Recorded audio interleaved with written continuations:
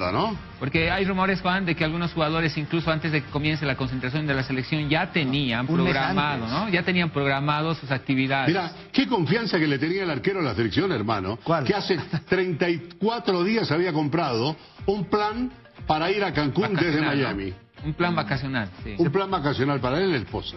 ¿Se puede saber cuál arquero? Pero ¿cuál es el arquero? El, titular. Ah, ¿no? el titular. Ah, Pero claro, ¿para qué te voy a mentir?